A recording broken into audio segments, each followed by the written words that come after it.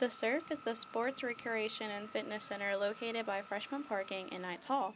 Students use the fitness center for athletic training, personal fitness, or interest in a hobby or class offered at the Surf. I like the surf and everything they have in here.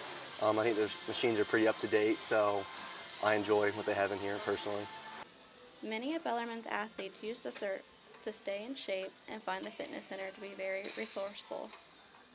It does to come here and like put in extra work and uh, work on things that I need to. So yeah, it does. Yeah, and I think it's definitely like improving as well because like working here, like Claire's always trying to get us like new equipment and that sort of stuff. There are free fitness classes offered to students throughout the week, ranging in various topics. Some classes include Pilates and butts and guts. Yeah, they're really fun. Like all the instructors are really great. Some of our faculty and staff like actually teach the classes as well. So it's like really cool. Just a lot of people don't know about it. Okay. The surf isn't just a great place to get in shape, it's also a place to have fun. The center has two indoor basketball courts and three indoor tennis courts. And in the beginning of the school year, the surf is used as a site for students to mingle with other students by fun activities. It really helps the students reconnect with friends and teachers and to start the year off great.